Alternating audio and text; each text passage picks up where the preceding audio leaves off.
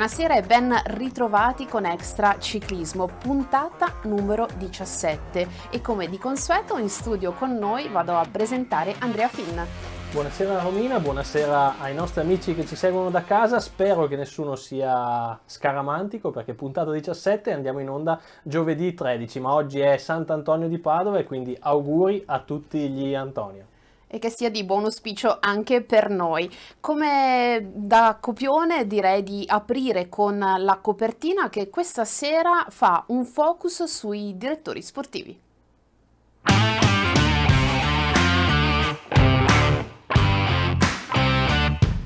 La retorica ci ha insegnato a ripetere che il ciclismo è uno sport individuale nel quale però conta la squadra. Effettivamente questo è un dato di fatto e molto spesso la squadra può aiutare a fare la differenza. Ma ci sono dei momenti, come quando sei solo in salita o delle specialità come la cronometro o la BMX, nei quali nessuno può venirti in aiuto. In questi momenti i pedali possono diventare pesanti come macigni e anche solo salire sulla pedana di partenza può sembrare una scalata al monte Everest. In questi momenti l'unica persona di riferimento diventa il direttore sportivo, quello che ti ha seguito per mesi in allenamento, quello che ti ha fatto soffrire, ma con cui hai condiviso ogni momento decisivo. È lui a dare le ultime indicazioni, è lui che fa virare la tua concentrazione su dettagli fondamentali ed è lui che con la voce può spronarti a dare quel qualcosa che non pensavi nemmeno di avere.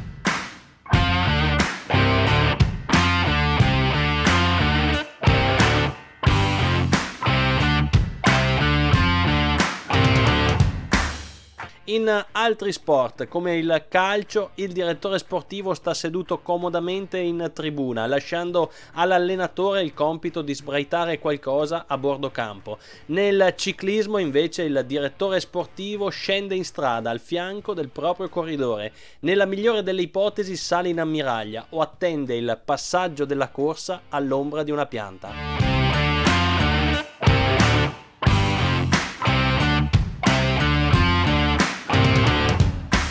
Una categoria spesso bistrattata, quella dei direttori sportivi, di cui magari non tutti sarebbero degni di farne parte, ma dove vi sono anche eccellenze in termini di conoscenze, esperienze, passione ed entusiasmo che possono essere davvero la chiave di volta per far fare ai giovani talenti italiani il cambio di passo decisivo per il loro futuro. Ecco dunque, quando vedrete un giovane corridore alzare le braccia al cielo, per un attimo pensate anche al suo direttore sportivo, che magari starà scoppiando di gioia a qualche chilometro di distanza, là dove la salita era più impegnativa o là dove era il momento giusto per attaccare e volare verso il traguardo.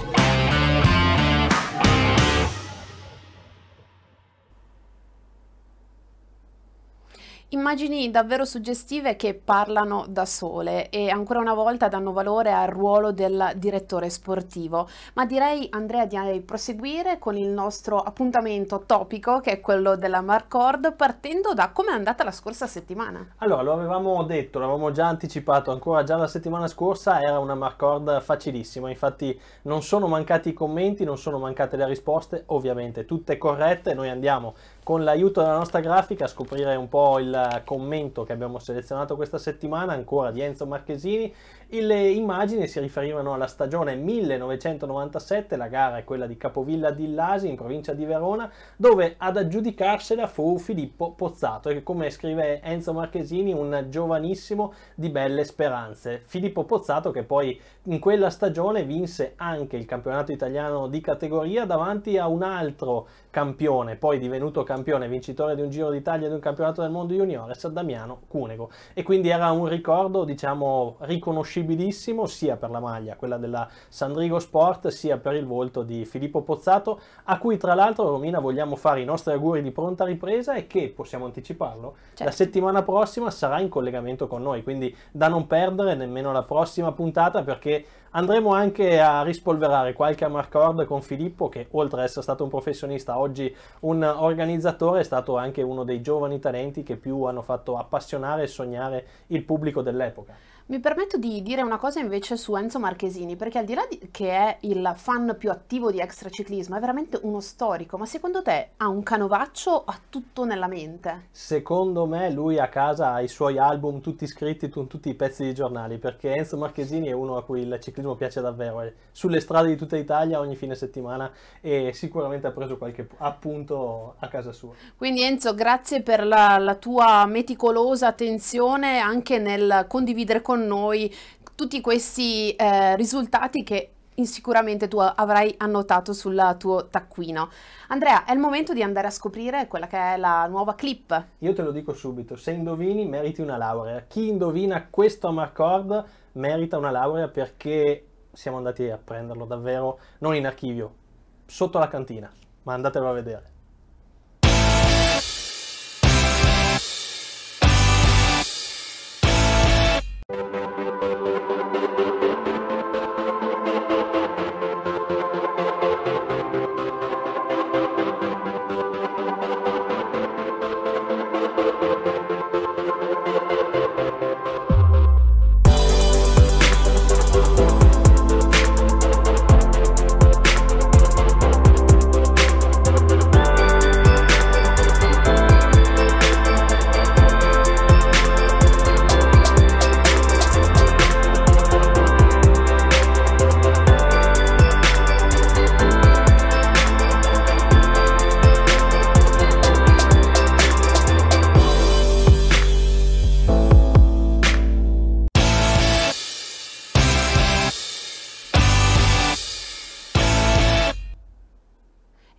Volta abbiamo davvero alzato l'asticella, ma noi siamo fiduciosi che magari in alcuni di voi sarà scattato nella mente qualche flashback dal passato.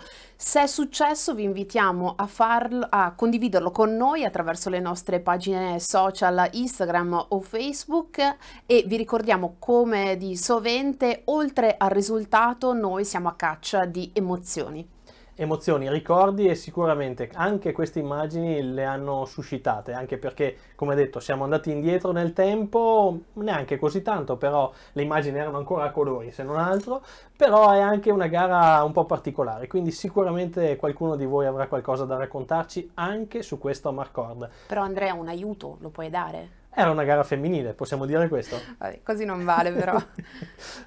Quindi adesso direi di proseguire con la nostra puntata e andare a conoscere chi è il protagonista della nostra storia di questa settimana.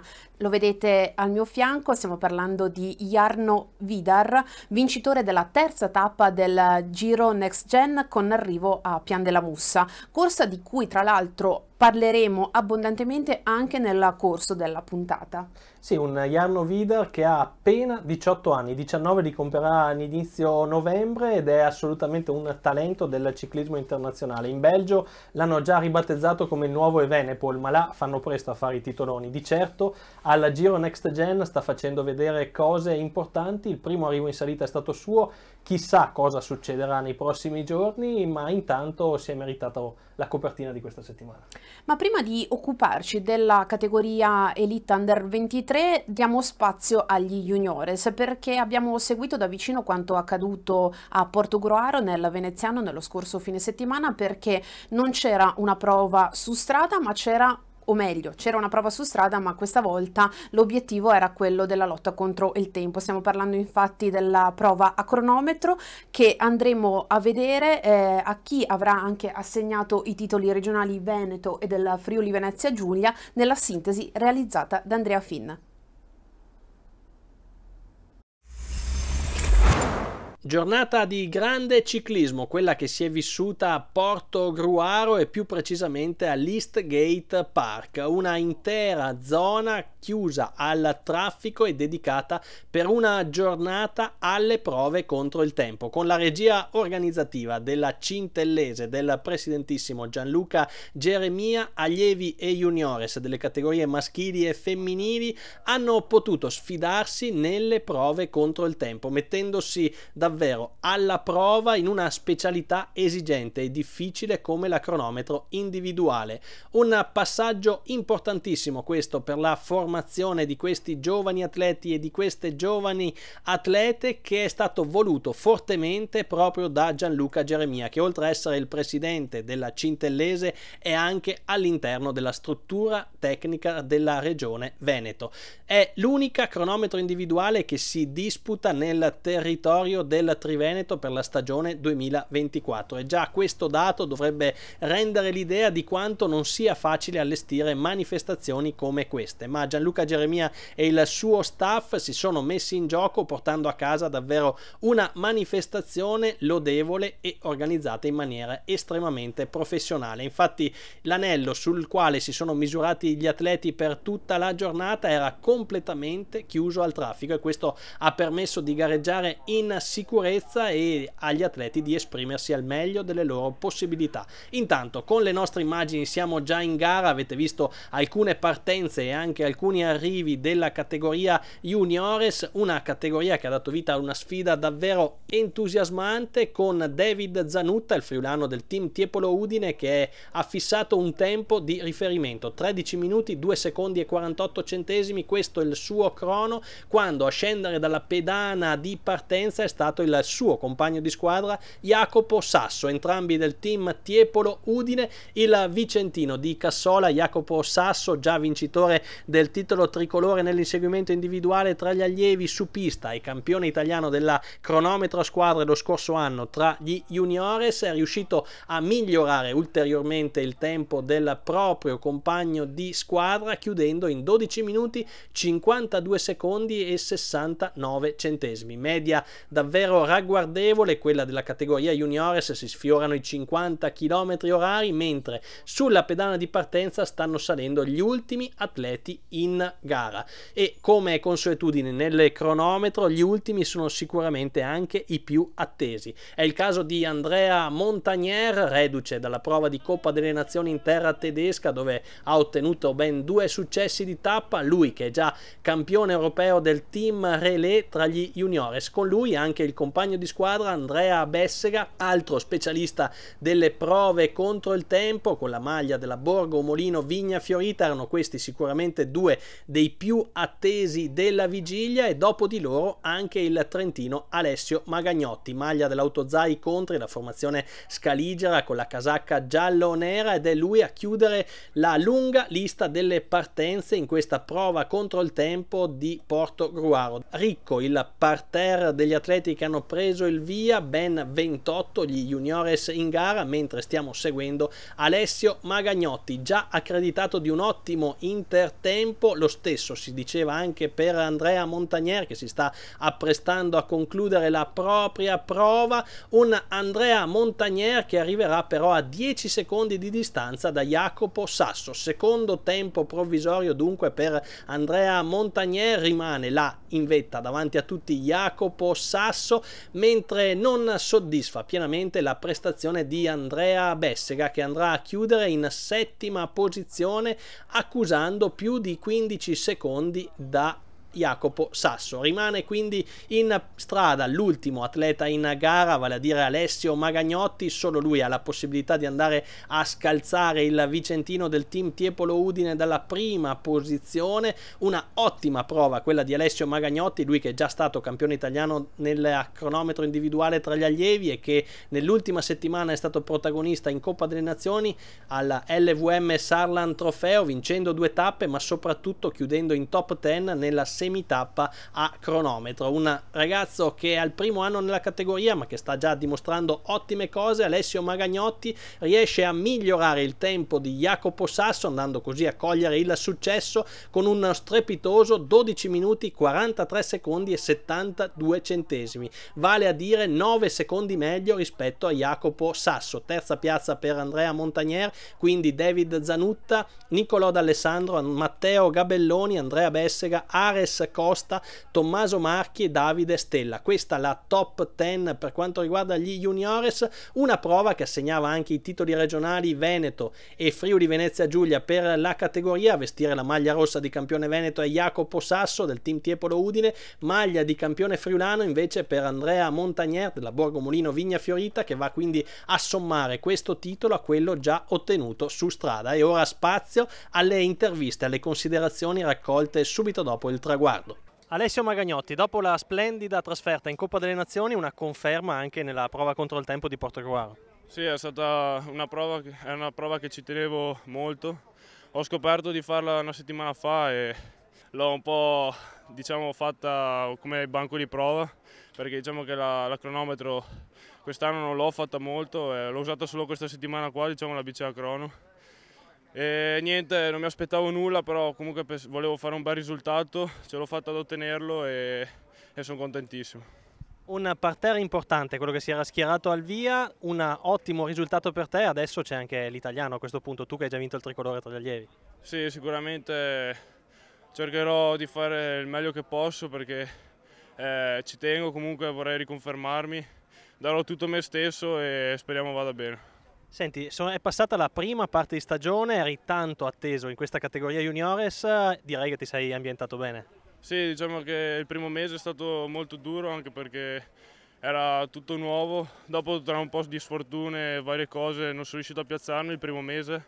Dopo ho avuto la prima vittoria stagionale all'Abruzzo e da lì ho preso fiducia e diciamo che ho continuato a far bene. A lungo con il miglior tempo battuto solo da un super Alessio Magagnotti, però Jacopo Sasso si può rifare con il titolo regionale della cronometro. Sì, un po' di rammarico per la seconda posizione, però sapevamo che Alessio poteva fare molto bene in questa crono.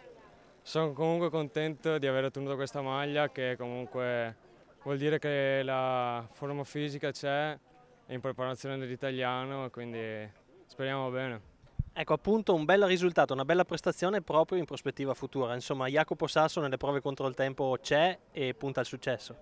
Sì dai, proviamo a vincere o meno a piazzarci e fare il meglio possibile l'italiano e niente, speriamo bene.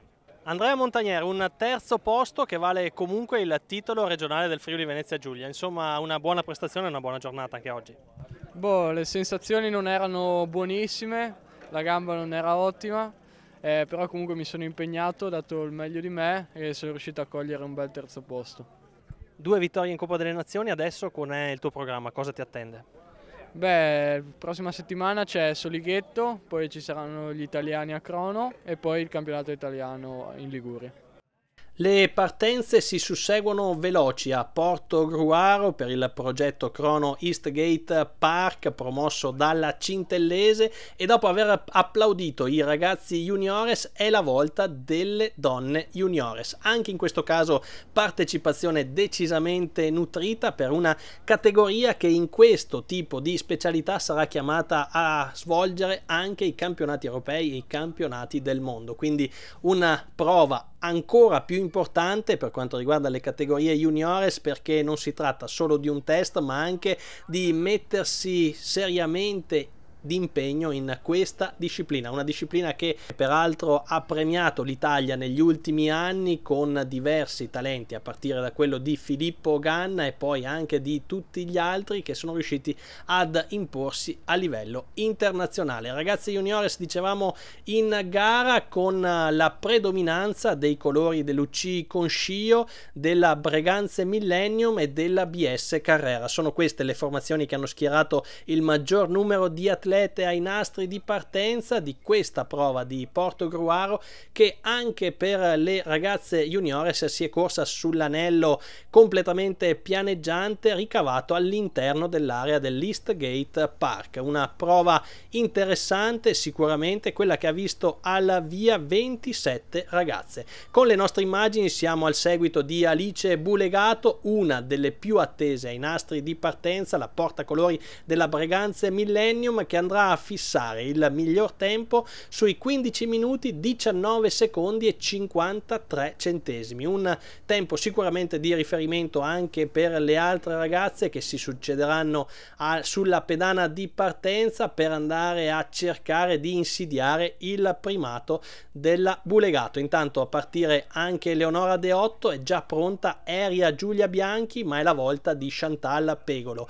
La ragazza friulana in forza a Luci Conscio al primo anno nella categoria juniores è attesa in questa prova per vedere le proprie abilità anche tra le juniores. Lei che è stata una ragazza prodigio nelle categorie giovanili si sta confermando su strada e a Portogruaro ha avuto la possibilità di mettersi alla prova anche nel cronometro. Dopo di lei è la volta di Elena De Laurentiis, atleta abruzzese in forza al team di Federico, altra formazione che ha grande attenzione nei confronti delle prove contro il tempo e poi Eria Giulia Bianchi della BS Carrera che in questo primo scampolo di stagione è stata tra le atlete più continue e soprattutto più vincenti nelle prove su strada. Ottima la sua posizione anche a cronometro per l'atleta lombarda. Dopo di lei mancano alla partenza solo due atlete. Si tratterà di Misia Belotti e di Irma Siri, ultime due atlete che come è successo successo per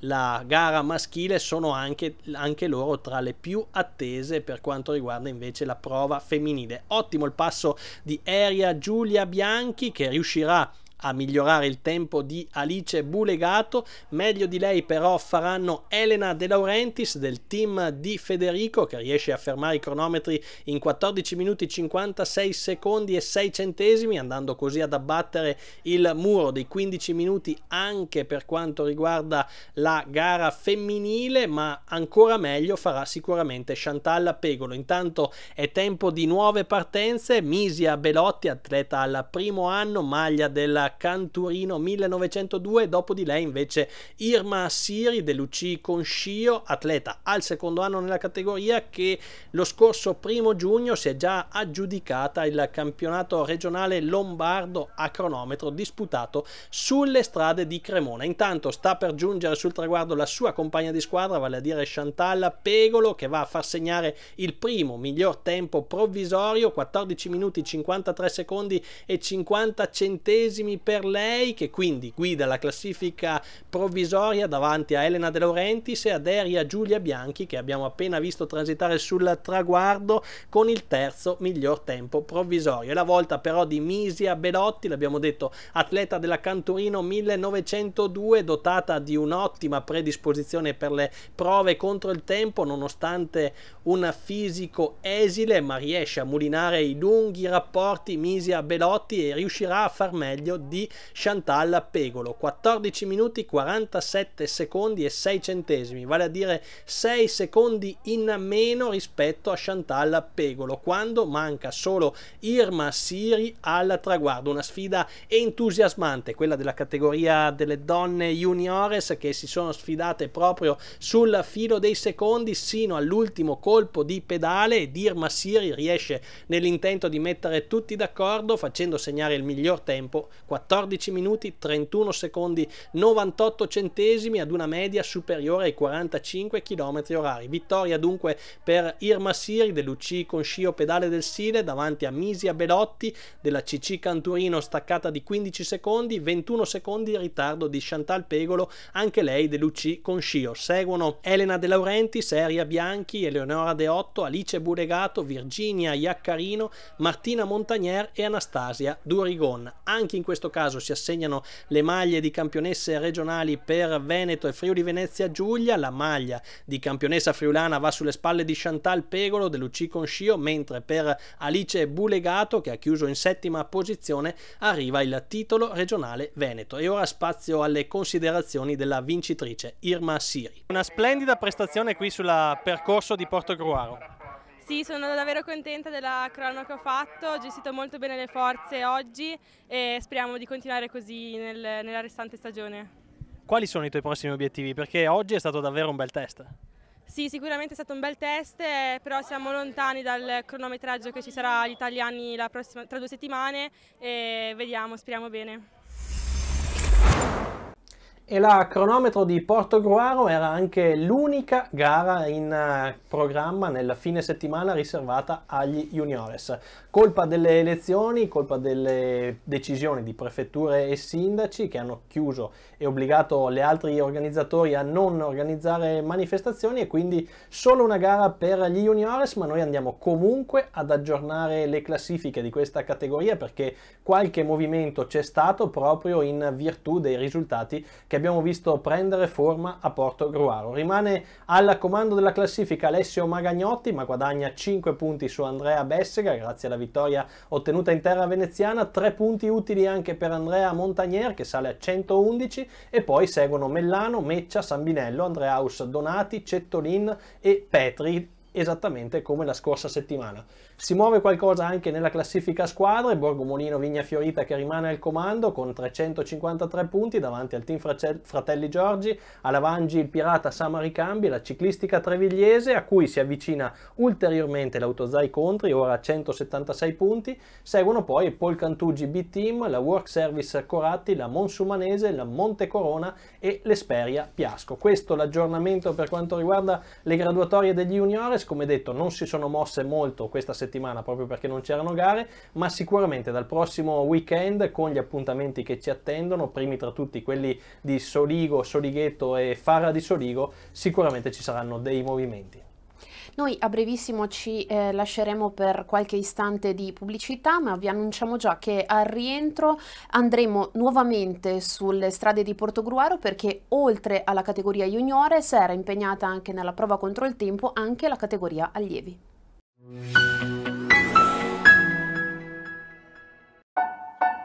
Gesti quotidiani che diventano semplici e sicuri con le porte da garage Ballan. Perché le porte basculanti MyFusion assicurano la massima qualità costruttiva, silenziosità e un ottimo isolamento termico, con la sicurezza della marcatura CE. Porte basculanti per tutte le dimensioni di garage, perfettamente integrate in ogni contesto. MyFusion, le porte basculanti che tutti i garage si possono permettere. Con Ballan, il futuro è alle porte. Industrial Forniture Moro, con più di 8.000 metri quadrati di magazzini, commercializza oltre 240.000 articoli tecnici, propone servizi di assemblaggio riduttori, taglio su misura per aste, guide, catene, cinghie, lastre termoplastiche e vendita cuscinetti.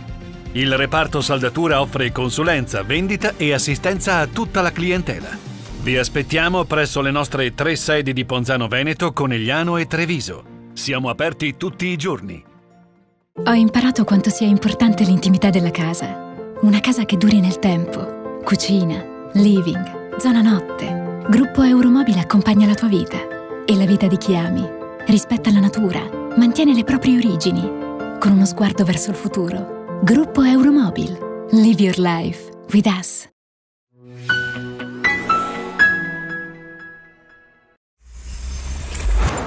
Il pomeriggio all'Eastgate Park di Fossalta di Portogruaro è stato dedicato interamente alla categoria allievi. Ad aprire la fase delle partenze sono state le ragazze allieve, anche in questo caso un gruppo ben nutrito in gara con tutte le promesse migliori del ciclismo italiano che si sono messe alla prova lungo il tracciato completamente pianeggiante realizzato dagli uomini della Cintellese. Un solo giro per gli allievi rispetto alle juniores e agli juniores che invece si misuravano sulla distanza delle due tornate, ma comunque un percorso tecnico caratterizzato anche da molte curve e quindi che chiedeva oltre l'abilità di saper spingere sui pedali anche la capacità di guidare la propria bicicletta. Intanto con le nostre immagini siamo già in corsa con le portacolori dell'UC Giorgione 1908, la formazione presieduta dal campione del mondo di Varese 2008 Alessandro Ballan e poi ancora con le portacolori della Breganze Millennium e in questo caso con il dorsale 87 vediamo in azione la friulana Carlotta Petris della Libertà Veritas Ceresetto che è stata tra le migliori di giornata. Infatti buono il suo tempo al traguardo, 9 minuti 10 secondi e 93 centesimi, un tempo che ha fatto da riferimento per diverse atlete che hanno preso il via in successione. Infatti è stata poi la volta della bolzanina Silvia Pirrone del team Mendel Spec che rispetto alla Petris ha accusato un ritardo di una decina di secondi. Poi è stata la volta di Agata Campana, altra atleta che si sta ben comportando in questo 2024 che è giunta ad appena un secondo di ritardo da Carlotta Petris e a Matilde Rossignoli, lei che ha già vestito una maglia tricolore tra le esordienti che anche nel suo caso è giunta a poco più di un secondo da Carlotta Petris che era riuscita a far segnare un tempo che è rimasto là al primo posto per diversi minuti. Poi è toccato ad Azzurra Ballan, la figlia di Alessandro, per lei maglia dell'UC Giorgione 1908, una vittoria in stagione sul traguardo di Vo in quella che è stata la prova d'apertura della stagione 2024 e la figlia d'arte riesce a migliorare decisamente il tempo, 8 minuti 49 secondi e 99 centesimi per lei, ma subito dopo Azzurra Ballan è la volta di Maria Acuti del Veloce Club Sovico, ottimo ottimo alla sua impostazione in bicicletta per l'atleta lombarda con un fisico decisamente longilineo. Riuscirà a far meglio di Azzurra Ballan di altri 3 secondi. 8 minuti 46 secondi e 6 centesimi. Questo il tempo da battere quando sul tracciato di gara di Porto Gruaro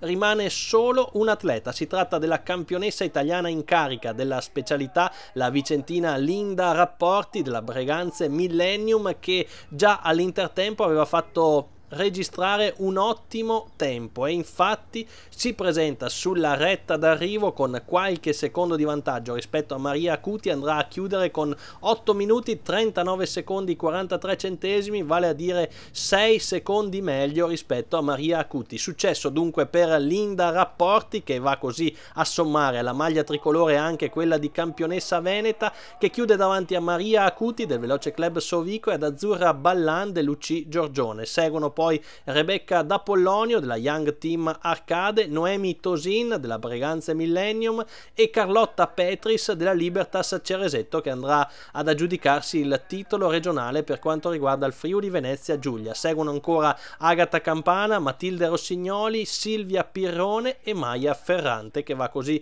a completare la top 10 riservata alle ragazze allieve. Prima di passare alla sintesi degli allievi però andiamo ad ascoltare le parole della vincitrice vincitrice Linda Rapporti. Linda Rapporti, oggi la maglia tricolore ha brillato a Porto Gruaro, una bellissima crono per te. E sì, sono felice di aver vinto perché mh, mm, ci tengo molto alle cronometro e quindi sono felice. Un percorso caratterizzato da tante curve, bisognava interpretarlo nella maniera giusta, tu ci sei riuscita? E sì, ero un po' preoccupata perché è un percorso molto tecnico, però comunque sono riuscita a fare quasi tutte le curve in posizione.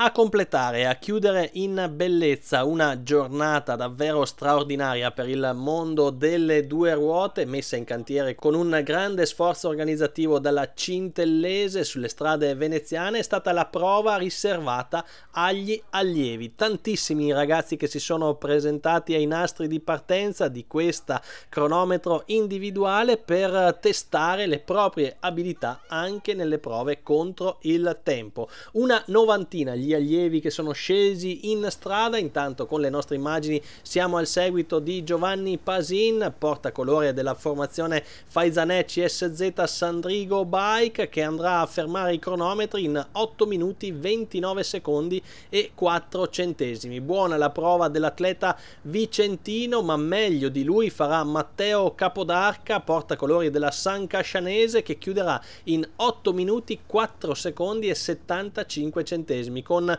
quello che sarà un tempo che rimarrà al primo posto per quasi tutta la prova.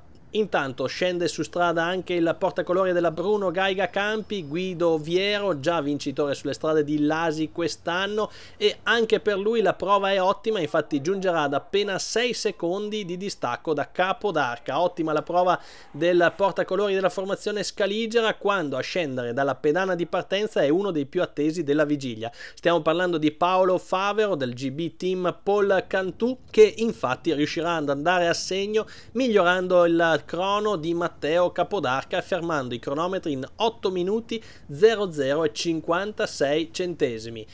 Impegnato nella prova contro il tempo anche il vicentino Andrea Endrizzi, portacolori del Veloce Club Città di Marostica, due volte campione italiano tra gli esordienti, ottimo anche il suo comportamento a cronometro. Intanto noi siamo al seguito di Filippo Cingolani del 024 Cycling Team che sta andando molto bene ma rimarrà staccato di 5 secondi rispetto a Paolo Favero. Si susseguono intanto le partenze le prove senza soluzione di continuità sul tracciato di Porto Gruaro che ha consentito agli allievi di dare fondo alle proprie energie. In questo momento siamo al seguito di Lorenzo Ceccarello, portacolori del Monselice che si avvicinerà al tempo di Favero ma rimarrà staccato anche in questo caso di 6 secondi e dunque toccherà all'ultimo atleta in gara cercare di insidiare il tempo fatto registrare da Paolo Favero. Si tratta di un altro atleta vicentino, Lorenzo Campagnolo della Borgo Molino Vigna Fiorita,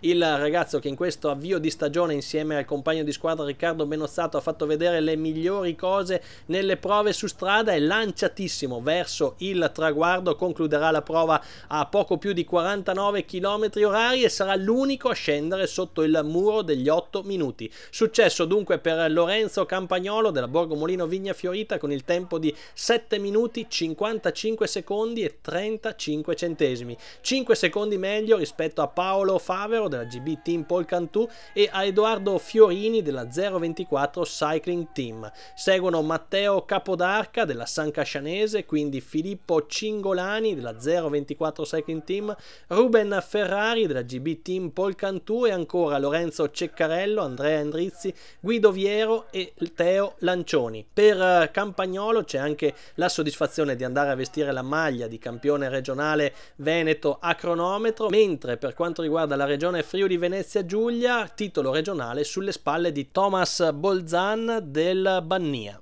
Lorenzo Campagnolo, una super prestazione oggi a Portogruaro, l'unico allievo a scendere sotto gli 8 minuti. Te l'aspettavi? Sinceramente il tempo non lo guardavo, pensavo solo a menare più che potevo un percorso che era tecnico al punto giusto. Eh, molte curve, un percorso dove le medie alte non riuscivi a farle, però va bene lo stesso. Una maglia di campione veneto che si aggiunge a quella conquistata dal vostro team anche su strada, per te i prossimi obiettivi? I prossimi obiettivi sono i campionati italiani, sia sul crono che su strada, e poi verso fine stagione il Dino Diddi, Coppa d'Oro e così. Gianluca Ceremia, Cintellese in cabina di regia per questa cronometro, l'unica in Triveneto quest'anno.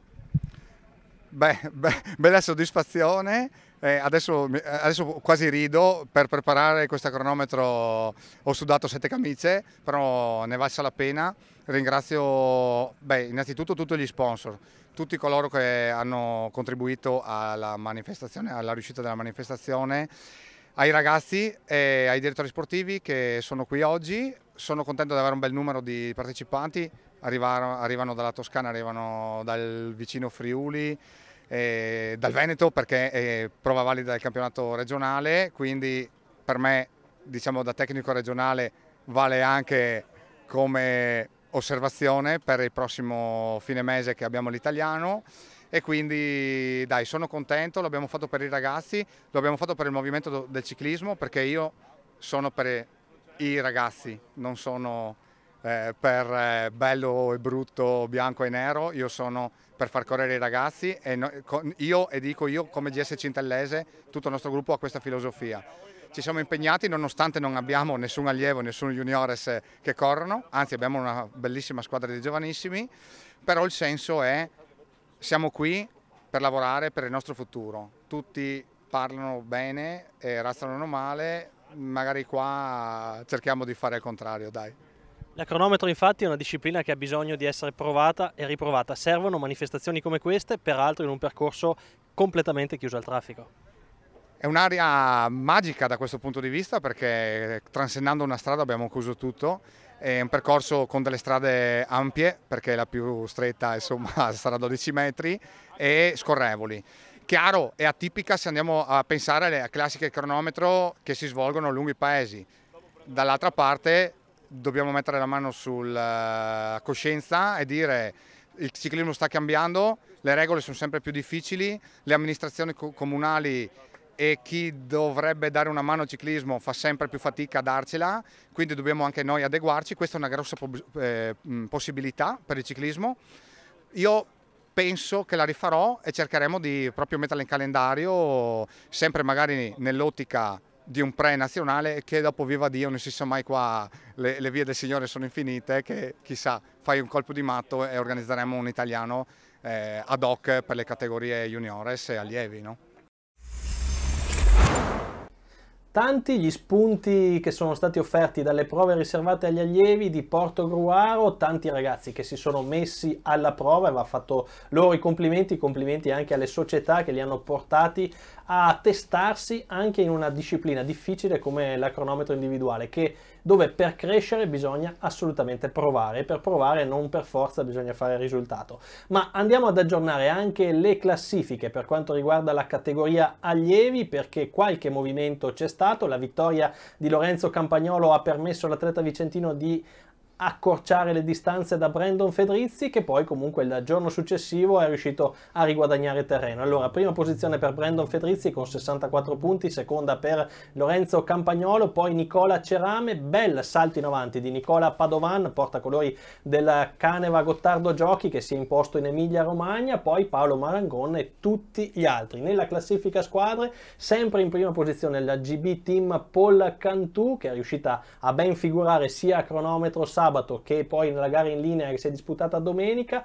Borgo Molino Vigna Fiorita con 103 punti, segue il Biassono, la Fiumicinese, la 024 Cycling Team, quindi il Monselice, Forti e Veloci, Madonna di Campagna, Iperfinish e Industrial Forniture Moros. Sin qui la situazione che riguarda la categoria degli allievi, ma come avete visto nelle nostre immagini a Porto Gruaro sono scese in strada anche le ragazze. Allora c'è da aggiornare anche la situazione per quanto riguarda il mondo femminile, lo facciamo con l'aiuto della grafica che ci propone subito le classifiche riservate agli elite dove non ci sono sostanzialmente cambiamenti se non il salto in avanti della Fiamme Azzurre che riesce a superare la UAE Devo Team al secondo posto nella classifica squadra alle spalle della Lidl Trek. Per quanto riguarda le ragazze juniores allunga con decisione Chantal Pegolo, forte anche della vittoria a cronometro, davanti a Aria Bianchi e Virginia Iaccarino. Tra le società non cambia molto, sempre la BS Carrera davanti davanti al Conscio e alla BFT Burzoni.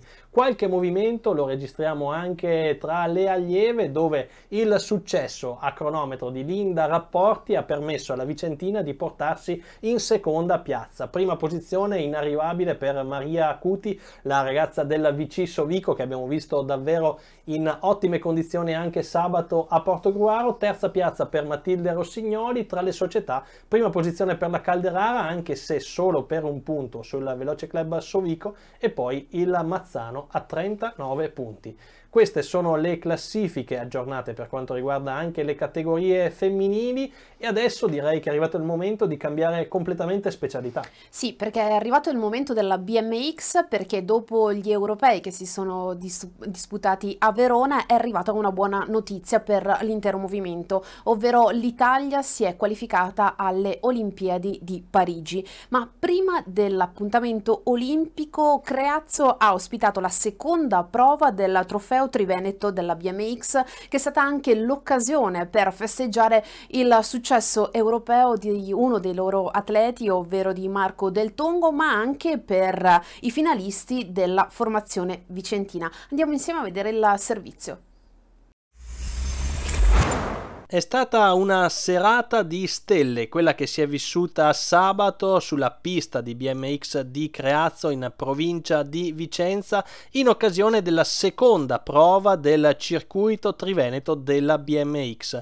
Un appuntamento in notturna messo in cantiere dagli uomini del presidente Gerolamo Pellizzari che è stato baciato anche dalla festa per i recenti risultati ottenuti dalla società Berica ai campionati europei europei di specialità disputati a Verona non più tardi di una settimana fa. Infatti da celebrare ci sono il successo di Marco Del Tongo tra gli allievi e soprattutto l'accesso alle finali dello Juniores Giulio Marchetto, dell'Under 23 Albert Groppo e del Cruiser 50 e over Vittorio Sartori. Risultati che hanno fatto la felicità di tutto lo staff bianco-celeste che l'ha espresso ovviamente anche ai nostri microfoni.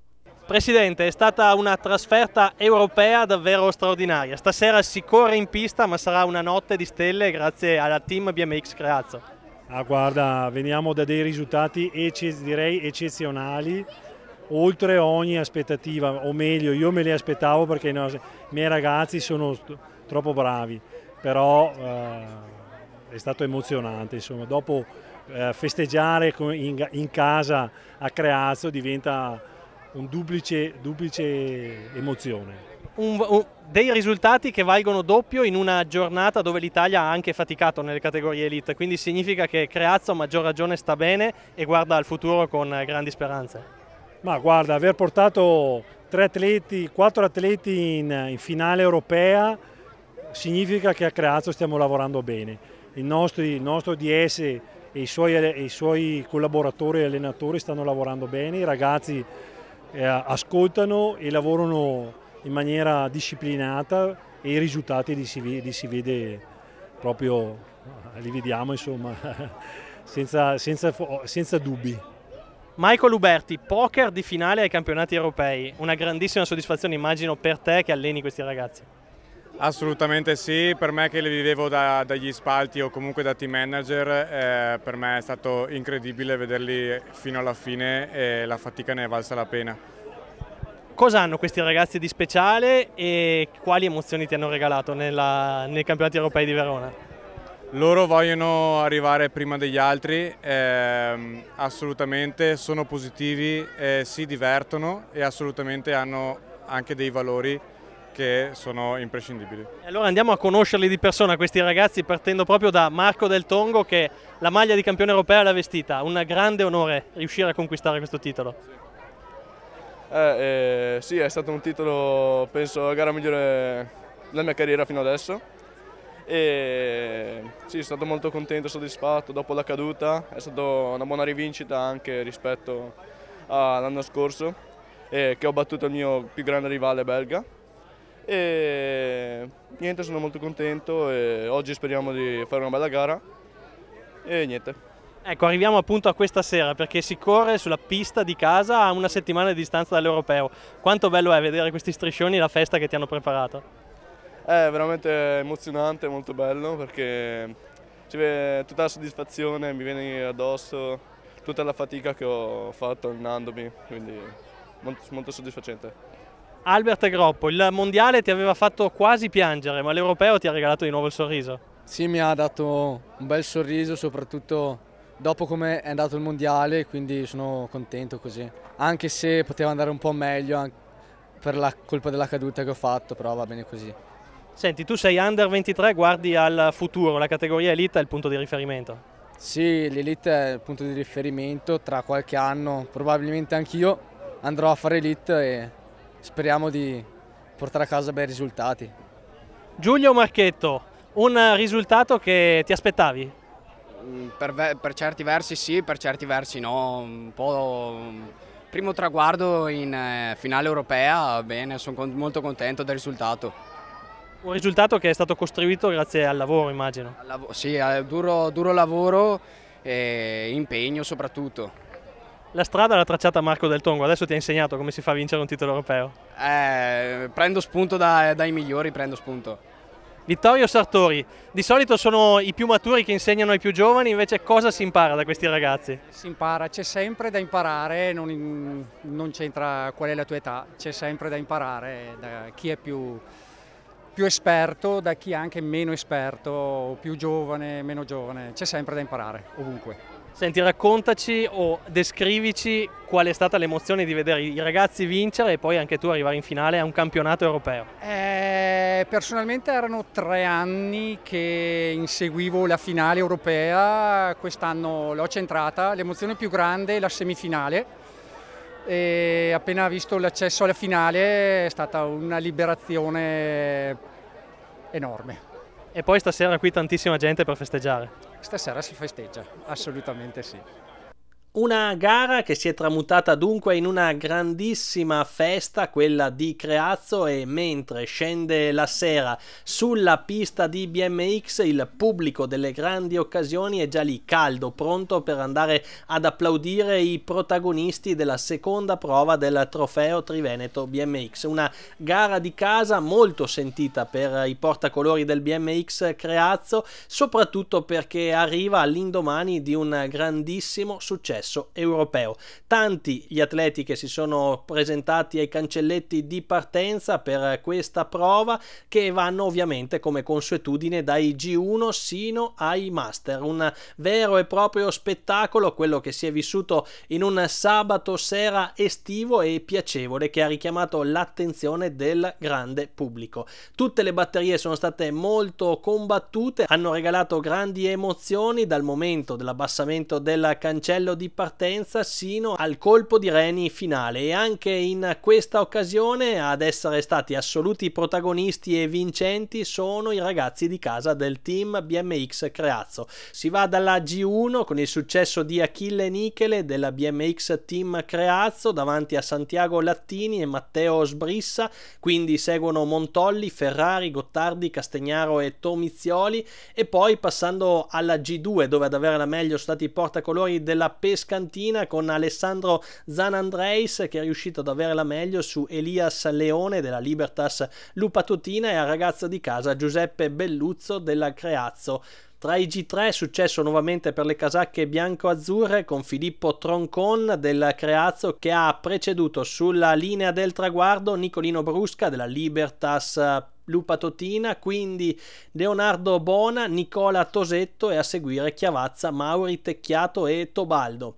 Molto combattuta anche la prova dei G4 che ha visto in gara ben 33 corridori con il successo di Simone Rasia davanti al compagno di squadra Tommaso Carraro, entrambi del Creazzo che hanno preceduto Tommaso Zuccher quindi Thomas Pasini, De Marni, Consuma Candiotto e Martignon. Davvero spettacolare anche la finale dei G5 con Tommaso Negro e Mattia Pelizza, entrambi con la maglia bianca bianco-azzurra del Creazzo nelle prime due posizioni. Pietro Crosara terzo per Pescantina, quindi Niccolò Morello, Liam Fusari, Giacopuzzi, Bona e Gasparella. Sembrava già scritto invece il finale della G6 con Giorgio Boschini dei Panther Boys Padova che si era aggiudicato tutte le batterie di qualificazione e che anche dal cancelletto di partenza è stato tra i migliori a scattare. Peccato però che per il portacolori della società Patavina dopo la prima curva si è rotta la catena e quindi è finito fragorosamente a terra, successo che è andato ad Andrea Pusci della Pescantina davanti a Giulio Troncon del Creazzo, terza piazza per Cesare Tavernini del Pescantina, quindi quarto Lorenzo Francesco Prezio del Creazzo. Dicevamo a Creazzo è stata una serata di grande festa nel segno della BMX e della voglia di stare insieme con tutti tutti gli atleti che hanno festeggiato dopo il traguardo e soprattutto il pubblico impegnato in un lungo terzo tempo che ha fatto la gioia di genitori appassionati e accompagnatori. Il gran finale di giornata è stato dedicato alle categorie agonistiche con esordienti allievi juniores Open Elite e Master che sono saliti sulla pedana di partenza. Tra i più attesi ovviamente ci sono Marco Del Tongo tra gli allievi e Albert Groppo tra gli under 23 3.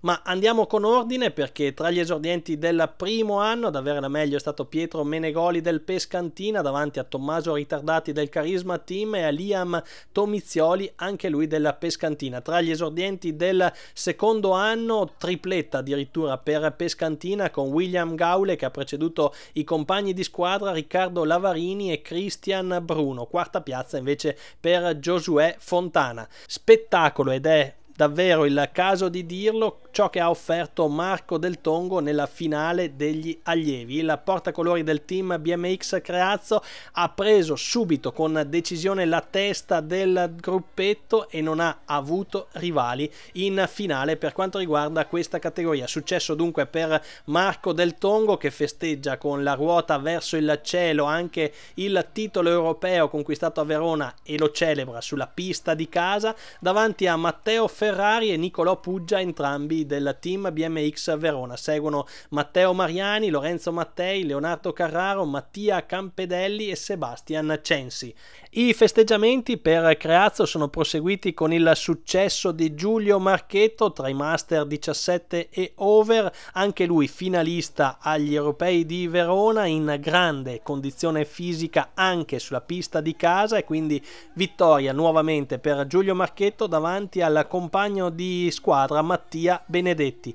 Terza piazza per Eric Klaus Ligabò, quindi seguono Vicentini, Axel Martinello, Naldi, Turato e Furlan.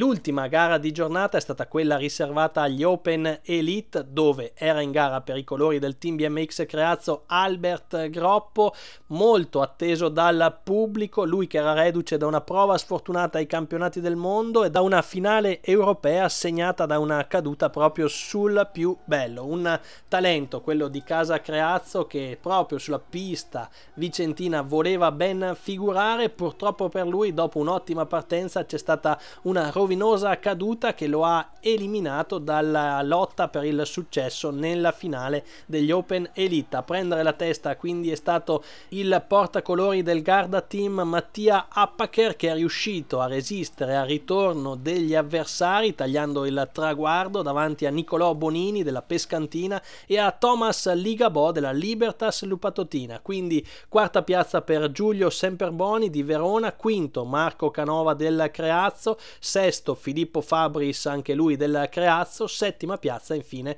per Elia Zocca del Verona. Qualche sbucciatura per Albert Groppo che dopo il traguardo è stato consolato dal pubblico di casa e poi spazio alle premiazioni e alla festa europea. Tanti ragazzi grandi e piccoli da premiare che hanno ricevuto il giusto riconoscimento dal presidente Gerolamo Pellizzari e dai rappresentanti del Comitato Veneto per quanto riguarda il settore settore BMX e ora la palla passa direttamente alla pista di Padova dove a salire in cabina di regia la prossima settimana saranno i portacolori dei Panther Boys Padova. Sabato 22 giugno in notturna la prova del circuito Triveneto a Padova, quindi il fine settimana successivo sempre sulla pista patavina farà tappa il circuito italiano BMX con due giornate di gara assolutamente da non perdere.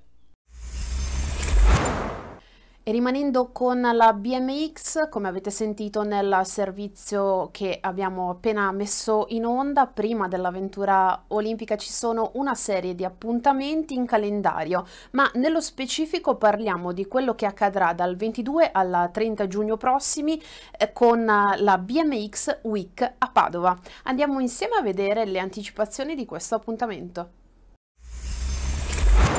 È stato presentato a Padova il programma della BMX Week Padova, la manifestazione messa in cantiere dagli uomini del Panther Boys Padova dal 22 al 30 giugno prossimi. Una vera e propria settimana di eventi e di iniziative rivolte alla BMX che terrà aperti i cancelli della BMX Race Track curata dagli uomini del presidente Ezio Piovesan. La BMX ormai è uno sport che funziona alla grande in tutta Italia, è ricresciuto moltissimo anche grazie alle varie società che hanno organizzato importanti manifestazioni, una delle quali appunto è la BMX Week che è la seconda edizione e che raggruppa eh, tre importanti competizioni. Competizione del circuito Triveneto che, si, che verrà fatta il sabato eh, durante la serata, quindi chiuderà in notturna e poi il sabato e la domenica successiva le due gare del circuito italiano che possiamo dire anche gare internazionali perché stiamo ricevendo molte iscrizioni anche da atleti stranieri. Contiamo nella presenza in tutta la BMX Week di oltre 1500 atleti da suddividere nelle varie gare. E poi tra i due weekend di gara anche tanta promozione del ciclismo. Sì, la promozione del ciclismo è nostro, ehm, la nostra cosa più importante. Noi organizzeremo durante la settimana eh, delle giornate aperte ai bambini fino ai 10 anni per poter venire a provare eh, l'impianto e organizzeremo appunto eh, un percorso proprio per loro. Un 2024 che sta regalando grandi soddisfazioni ai Panther Boys Padova, ma soprattutto sono ormai cinque anni che questo impianto nel cuore di Padova è diventato un vero e proprio punto di riferimento per il mondo della BMX e già si guarda al 2025. Sì, assolutamente sì. Eh, il nostro impianto qui è stato realizzato da, dall'amministrazione comunale eh, cinque anni fa, c'è stato un momento di impasse durante il Covid, però comunque l'impianto è stato fatto ed è stato fatto sulla, sulle spoglie diciamo, del vecchio impianto che esisteva prima. La nostra società eh, vive dal 1987, quindi stiamo arrivando verso i 40 anni. Mm, l'anno prossimo abbiamo il campionato italiano, il campionato italiano che è la manifestazione più importante italiana alla quale abbineremo comunque anche le due prove del circuito italiano, quindi circuito italiano ma internazionale, in modo da fare una BMX Week veramente ad altissimo livello.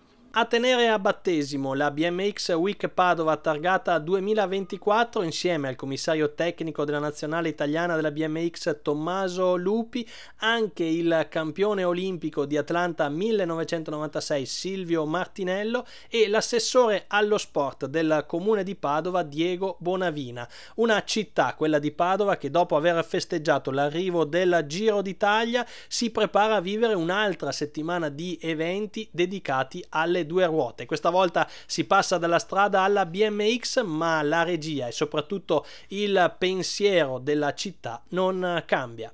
Sono eventi straordinari, il Giro d'Italia è stato veramente un successo per tutta la città, una, un, un'ottima organizzazione, una partecipazione di, di, tantissima gente, le associazioni sportive che hanno dato un contributo straordinario, in primis eh, il Panther Boys che sono stati parte veramente integrante di questo, di questo successo del Giro d'Italia. E a distanza di, di un mese siamo qui, siamo qui al, al, centro Brentella dove c'è questa pista molto bella, riqualificata qualche anno fa, gestita sapientemente dal, dai Panther Boys, da, da, Ezio e dalla Patrizia e che attendiamo, attendiamo un, una settimana straordinaria perché ci parlano di 1500 atleti e quindi sarà, sarà, un'altra grande festa. Sono felicissimo che il, il, ciclismo declinato in tutte le sue discipline possa avere una casa così importante a Padova.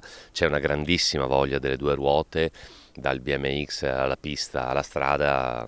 Credo che Padova da questo punto di vista sia molto accogliente grazie anche a questi impianti che, che sono stati riqualificati e che oggi possono ospitare eventi di questo tipo. Ad applaudire l'impegno dei Panther Boys Padova anche il presidente della struttura tecnica fuoristrada Massimo Ghirotto. L'ex professionista padovano è intervenuto nel corso della presentazione per sottolineare l'importanza di manifestazioni come queste nella promozione non solo della BMX ma del ciclismo a 360 gradi. Infatti va ricordato che all'interno del programma della BMX Week Padova ci saranno anche due giornate quelle di martedì 25 e di giovedì 27 giugno, nelle quali la pista resterà aperta per i bambini fino a 10 anni per una serie di attività che saranno svolte su un percorso idoneo e integrato con l'attrezzatura per l'attività di educazione stradale che viene svolta di consueto dai Panther Boys in collaborazione con gli istituti scolastici. Fuoristrada ha la fortuna di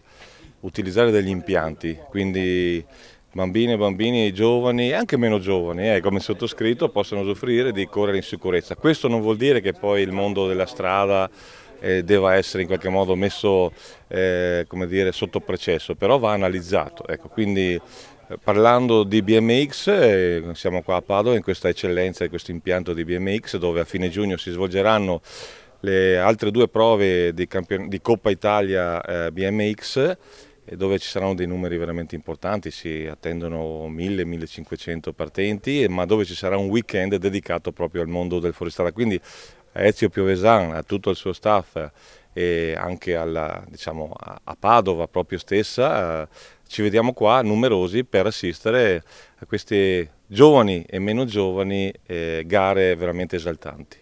La gara di sabato 22 giugno sarà valida anche quale primo trofeo Progelta SRL, mentre il weekend successivo si correrà per la nona edizione del trofeo Pietrobelli Elettronica, il main sponsor della società patavina di BMX che anche quest'anno ha confermato il proprio appoggio alla società padovana. Siamo sponsor da parecchi anni e la cosa interessante è che questo questa sponsorizzazione che io sto facendo da, eh, ormai da tanti anni, eh, la cosa importante è la, vedere questi ragazzini che hanno 5, 6 anni, 4 anni, diceva Ezio anche eh, dai 4 in su diciamo, vestiti di giallo come i pulcini, eh, è una grande emozione che poi si vedono eh, in, crescere e diventano magari responsabili nazionali o giocano a livello mondiale.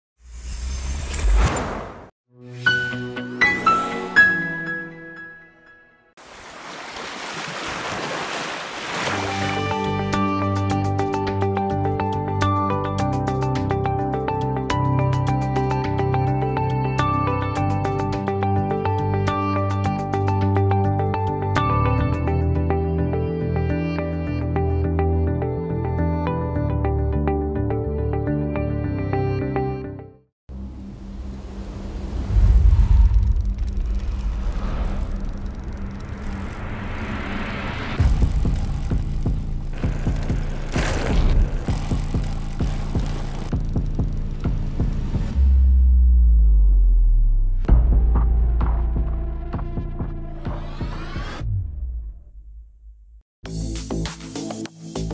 eleganza! Guarda che sicurezza! Wow, che precisione! Mai vista una porta da garage così performante? Ballan, le porte basculanti che tutti i garage vorrebbero avere. Tron Cartigliano ti aspetta con il suo nuovo look. Vendita e riparazioni di smartphone, iPhone, computer e accessori. Grande novità! Possiamo finanziare qualunque tuo acquisto, anche senza busta paga. Ti aspettiamo!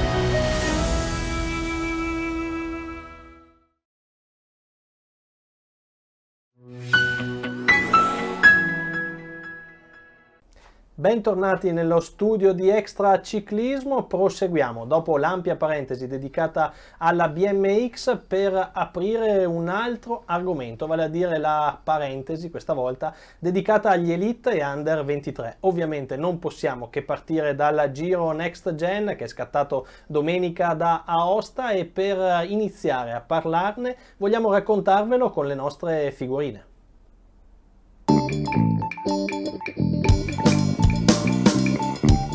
Riparte la corsa rosa e anche se è quella riservata agli under 23 si apre un nuovo capitolo del nostro album delle figurine. È partito infatti il Giro d'Italia Next Gen da Aosta con un cronometro individuale che ha esaltato lo svedese Jakob Soderquist della Lidl Trek, ma attenzione perché a far sognare il ciclismo italiano ci ha pensato Andrea Raccagni Noviero con un secondo posto ricco di significati risultati. Per il resto degli atleti azzurri invece è notte fonda, specie nelle prove contro il tempo, nonostante l'esempio da seguire sia quello di Filippo Ganna. La prima tappa con arrivo a San Vincent in territorio ancora una volta valdostano ha sorriso ai transalpini con il giovane Paul Magnier che non solo ha regolato tutti allo sprint ma anche andato a prendersi le insegne del primato, un vero e proprio fenomeno questo Paul Paul Magnet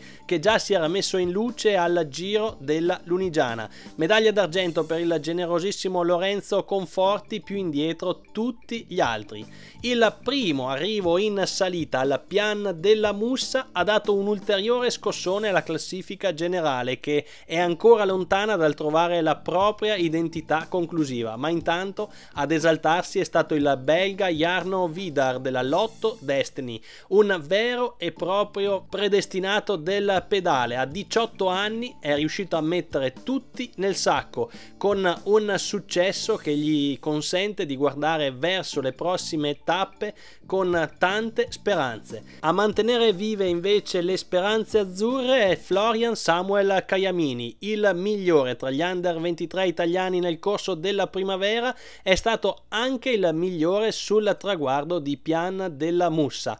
Chissà che non possa fare meglio sulle rampe di Fosse e soprattutto quando si arriverà sulle sue strade emiliano-romagnole. Sin qui le figurine delle prime tre giornate di gare in rosa riservate agli under 23, ma da qui al traguardo finale di Forlimpopoli ce ne saranno tante altre da collezionare e mettere da parte perché la corsa si preannuncia quanto mai viva e spettacolare.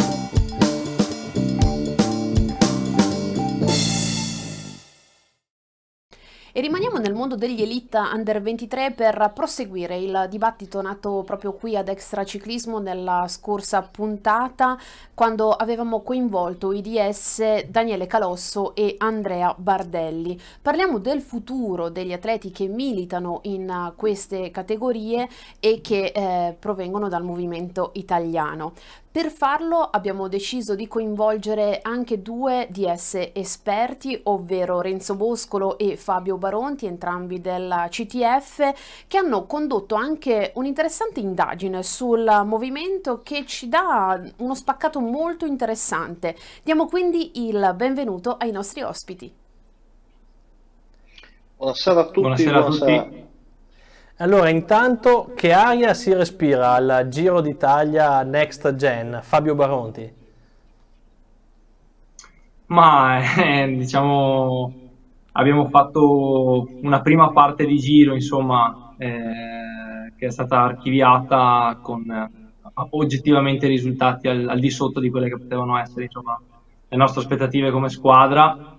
Eh, abbiamo, abbiamo ci è mancato qualcosa, diciamo, nelle, nelle, prime tappe. Purtroppo abbiamo avuto diversi problemi in avvicinamento e quindi insomma il nostro uomo di classifica che è Van der Meulen non è stato benissimo nell'ultimo periodo trascorso in altura, ha saltato anche la corsa della pace, quindi il livello qua è molto molto alto, ci sono tutti i migliori della categoria, ci sono atleti che hanno già eh, oggi un contratto in World Tour, ma eh, facendo parte comunque di team che hanno anche la squadra ovviamente development, sono al via del, del giro under, però insomma stiamo parlando di atleti di, di, di altissimo livello e quindi ovviamente qualsiasi dettaglio venga trascurato non perdonano insomma gli avversari, per cui speriamo insomma di, di raddrizzare il giro e di concludere in crescendo.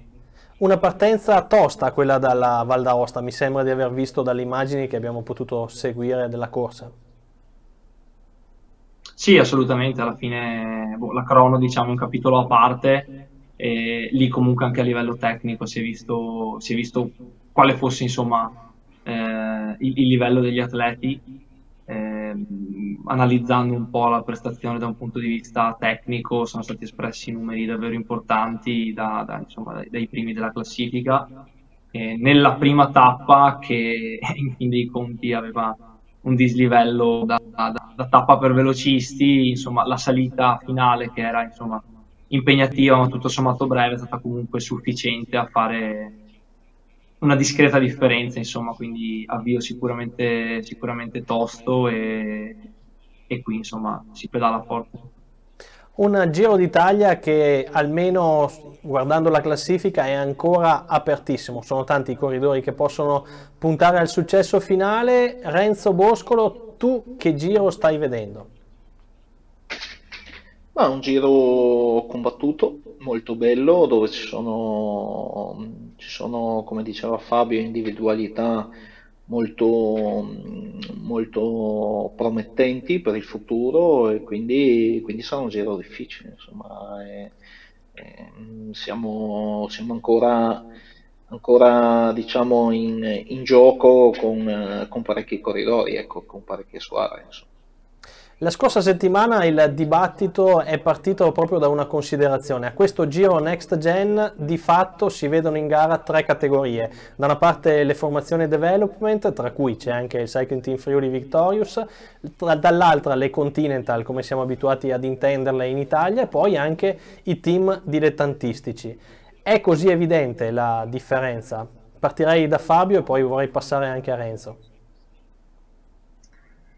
Ma eh, sinceramente sì, nel senso che la realtà è che in, in tante squadre, ovviamente, development militano atleti che per via di come è strutturata la categoria, fino ad oggi hanno già fatto insomma gare punto 1, quindi gare insomma nel team World Tour e questo unito al fatto che sono gli atleti migliori della categoria, altrimenti non sarebbero dove sono, insomma non militerebbero nelle squadre development, è chiaro che dà un booster aggiuntivo, no? Eh, questi comunque sono, sono, atleti che in gare punto 1 sprintano con eh, insomma, atleti navigati di 30-32 anni, battendoli anche, no? come magari è stato capace di fare Paul Magnier al Tour Woman. E, ed è inevitabile che insomma, quando poi arrivano qua siano, siano chiaramente un, un, punto di riferimento che per squadre di club abituate a fare un calendario nazionale sì, eh, danno l'idea di venire da un altro pianeta insomma.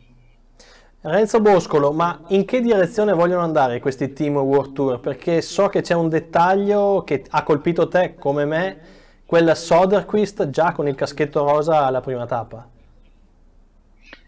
Sì, fa pensare, no? Fa pensare perché dico, abbiamo già eh, diciamo, un livello di, di- di dettaglio, di, di, diciamo così, di professionalità che forse in questa categoria non so neanche sia- quanto sia giusto, no? Anche a livello di mezzi, di strutture, di personale. Eh, perché? Perché questi ragazzi dovrebbero avere anche, anche il tempo di diciamo così, imparare anche la parte magari più gestionale della loro persona, più difficile, insomma, no?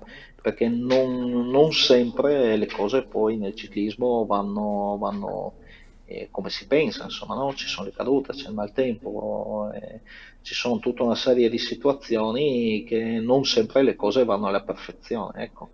E quindi cercare di imparare questi ragazzi anche a affrontare delle difficoltà, mm, insomma, secondo me, secondo me sarebbe anche, anche opportuno insomma, in questa categoria, perché la vediamo noi eh, come ancora una categoria di formazione. Poi, per l'amor di Dio, le devo, possono essere costruite per far formazione oppure per fare i punti eh, che magari servono a, a alla squadra, alla squadra madre, insomma, no? Renzo, queste riflessioni portano a fare una quadra sul movimento, è come se ci fossero squadre che vanno a velocità diverse, non solo per l'individualità, ma proprio per tutto un lavoro che c'è alla base. E a monte di questa riflessione mi viene da chiederti qual è il futuro della categoria?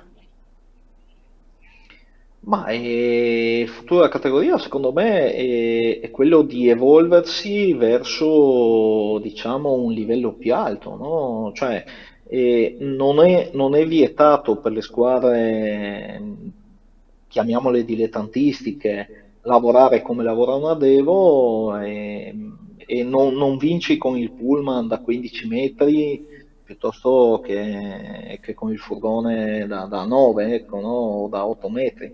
Quindi voglio dire, non è quello che fa la differenza, no? non sono le ammiraglie e non sono fortunatamente ancora nel ciclismo questo. E diciamo che bisogna lavorare bene, bisogna avere la cura del dettaglio, bisogna eh, scegliere i corridori che magari conoscono pochi, che non sono ancora fermati, so che è difficile, è difficile per noi, che, che insomma, nonostante siamo l'unica squadra che, che, è Devo è affiliata in Italia, per, oddio, una squadra vuotora ovviamente, perché poi eh, c'è anche, la, anche eh, gli amici di, di, di Neri. Però, però, è così, insomma, e quindi bisogna cercare di salire di livello, insomma, no? E questo è un consiglio che mi sento di... è anche un auspicio più che un consiglio, insomma, per tutto il movimento. Romina in apertura di collegamento faceva riferimento all'indagine condotta dal CTF Lab, che è appunto la struttura che accompagna l'attività del Cycling Team Friuli Victorious. E io adesso vorrei spulciare un po' questa indagine insieme a voi perché finché si parla di dilettanti, di qual è il futuro dell'Elite Under 23, di qual è la realtà italiana, magari sembrano chiacchiere da bar, però se iniziamo a mettere sul tavolo alcuni numeri sicuramente possiamo fare delle considerazioni più approfondite. Allora, con l'aiuto della grafica, se siete d'accordo, andrei a vedere il cartello numero 1 che è dedicato ad un'analisi abbastanza completa che è stata effettuata dal 2010 a quest'oggi per andare a vedere quali sono gli atleti juniores che fanno parte della classifica dei primi 100 diciamo, del, del, panorama mondiale, quanti di questi sono passati nella World Tour e quindi diciamo nella massima categoria. Come vedete c'è una tendenza evidente fino al 2019 dove la maggior parte dei corridori che passavano nel World Tour facevano parte del quarto anno under 23, vale a dire avevano 22 anni. C'era una buona fetta di atleti a 21 anni, colorata in verde, e una discreta partecipazione anche degli atleti al secondo anno, mentre per quanto riguardava gli atleti al primo anno nella categoria, che è la fascia blu che vedete crescere invece dal 2018 in poi, di fatto non c'erano ragazzi del primo anno che passavano nel World Tour. Tutto questo è cambiato a partire dal 2018 in poi e oggi ha preso una piega decisamente diversa, cioè vale a dire sono gli atleti del primo e del secondo anno che avevano ben figurato già nella categoria juniores ad approdare nel World Tour, mentre sembra non esserci più spazio per i ragazzi del terzo e del quarto anno. Fabio Baronti, è così? Ma eh, se si pensa che la, la, la maglia rosa eh, attualmente ce l'ha sulle spalle un ragazzo del primo anno e, e, che insomma andando a guardare anche un pochettino la lista dei, dei favoriti anche alla vigilia anche insomma un altro dei nomi altisonanti era Nordhagen anche lui proveniente dalla categoria juniores che è al primo anno negli under 23 la realtà è che si è, si è abbassata la soglia dell'età a cui si inizia a lavorare diciamo, con, con, con, con, l'idea di essere già proiettati nel professionismo. Fabio, ti interrompo per una domanda secca, ma di fatto significa questo che nel ciclismo moderno un atleta del terzo e quarto anno è già considerato vecchio? Eh, io posso dare la mia opinione personale, certo. che è no, perché la realtà è che il fatto di anticipare così tanti tempi permette di avere subito, diciamo, di poter subito raccogliere i frutti con ragazzi che sono estremamente talentuosi, come può essere Vidar, eh, o come possono essere insomma tanti altri, mi viene in mente Morgado l'anno scorso, che, che poi insomma è passato l'anno successivo in, World Tour, ha già fatto vedere insomma di che pasta è fatto. Quindi insomma con questi ragazzi eh, è chiaro che le, le regole del gioco un pochettino cambiano voler standardizzare probabilmente il, il, il lavoro il percorso che, che, viene proposto a questi eh, talenti a tutta la categoria, nella mia visione, è un errore perché eh, che, il fatto che un ragazzo possa maturare a 20 anni o a 21 era valido 5 o 6 anni fa e per quanto mi riguarda continua a essere valido, insomma, la, la, la fretta di voler accapararsi il talento e diciamo la, allo stesso modo la superficialità, no? mi viene da dire, con cui vengono accantonati i ragazzi che magari hanno avuto bisogno di due o tre anni in più per raggiungere un certo livello, ci fa correre il rischio di lasciare per strada dei, dei dei potenziali talenti che semplicemente hanno avuto bisogno di, di fare un, il percorso lungo ecco, per arrivare allo stesso punto. Renzo Boscolo, ricollegandomi a ciò che sta accadendo al Giro Next Gen e visto che ha fatto il nome Fabio Baronti, voglio essere un po' malizioso. Questo Nordhagen, che al pari di Guidar è al primo anno nella categoria, è stato dato tra i favoriti giustamente al Giro d'Italia Next Gen, ma dopo tre tappe è andato a casa e si è ritirato. La stessa cosa però era successa anche alla Ronde Lizard, era al comando della corsa, lui è portacolori della Visma Lisa Bike e dopo 3-4 tappe è andato a casa non è che puntare sui ragazzi così giovani si rischia magari che non abbiano ancora la consistenza per poter affrontare gare impegnative come queste, perché stiamo parlando di gare a tappe di primissimo piano. Ma per darti una risposta bisognerebbe conoscere tutte le situazioni, essere all'interno della squadra, parlare con i coach, con, eh, e quindi perché poi molto spesso sono situazioni di gara, no?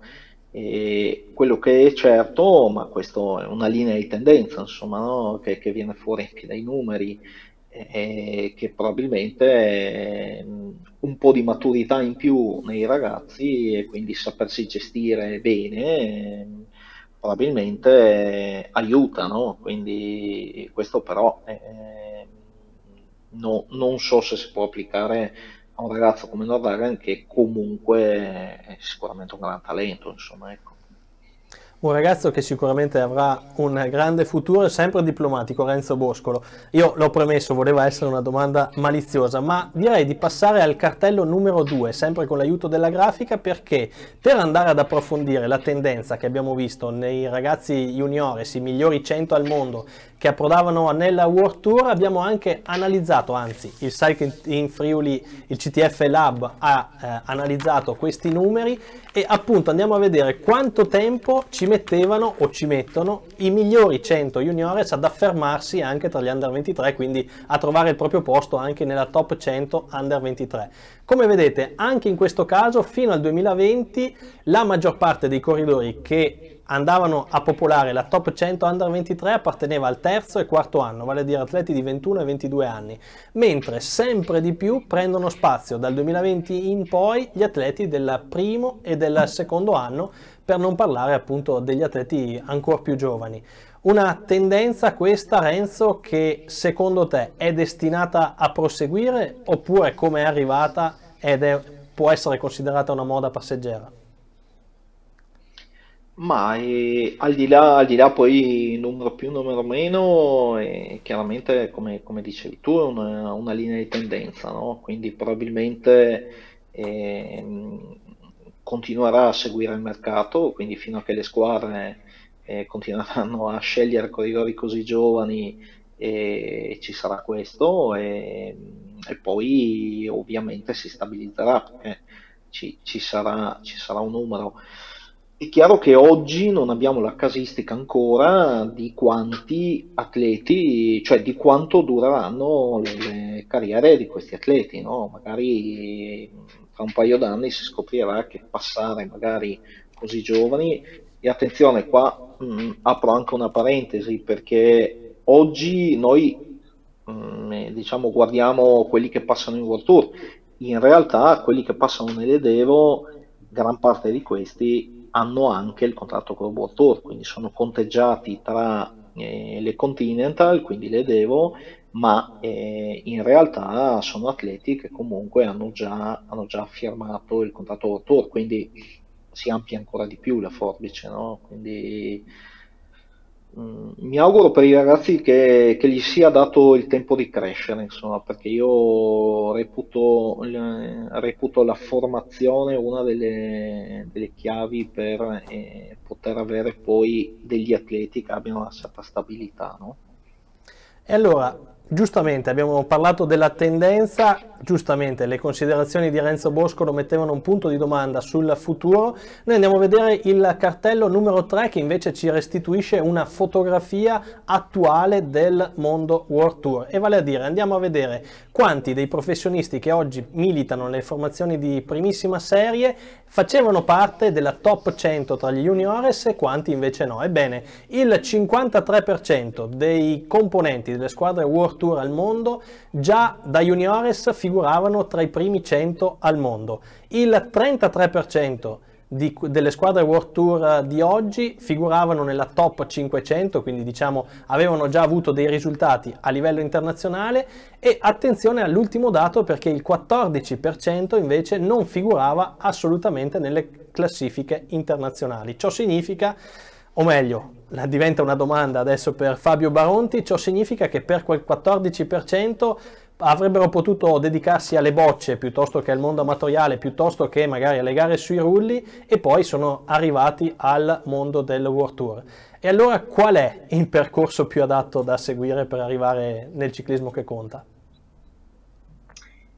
Ma an- ancora di più, secondo me, significa che quel 14% ha avuto bisogno probabilmente di una struttura o di, delle persone di riferimento che gli hanno permesso di fare magari la differenza e, e colmare quel gap che magari altri dotati di più talento, che erano già stati capaci di dimostrare di più nelle categorie giovanili, insomma, eh, tutto sommato probabilmente non ne avrebbero avuto bisogno. No? Quindi c'è comunque una fetta di atleti che ha un potenziale il quale può essere eh, espresso, può essere tirato fuori nel momento in cui trovano l'ambiente giusto per crescere e, e per capire anche la loro dimensione. No? Con altri probabilmente questo è, mi viene da dire quasi secondario, no? eh, chi, più, chi prima, chi dopo, insomma, però comunque al, al, di, di, fronte a, a ragazzi che magari hanno effettivamente un livello altissimo, comunque la categoria World Tour viene raggiunta e probabilmente si riesce anche a, a viverci eh, per, per, degli anni di carriera senza magari questo, questa necessità. Però ecco, il, il lavoro poi delle, delle, di una squadra che lavori bene non, non sta solo nel eh, prendere quel, quel 50% no, di, di atleti super talentuosi e, e traghettarli ecco, al, al, mondo del World Tour, ma sta anche nel saper vedere quelle che sono le altre qualità necessarie per, per emergere, saper cogliere magari no, in un ragazzo che ha dimostrato qualcosa di meno comunque la, la, la, la prospettiva ecco, di, poter, di, poterne fare un lavoro, ecco, di non andare a, a fare altro, ma eh, insomma io credo che la, la, nostra missione come scuole che lavorano nel settore giovanile, che mm, chiamarlo così al giorno d'oggi non è, non è forse la, la, parola giusta perché ormai, come si è detto fino ad ora, no? si inizia, si lavora sempre più eh, in maniera professionale fin da giovani, però la, il nostro ruolo deve continuare a essere anche questo, no? eh, allora... capire noi per primi e far capire ai ragazzi che meritano che possono arrivare anche loro a, ad un certo livello.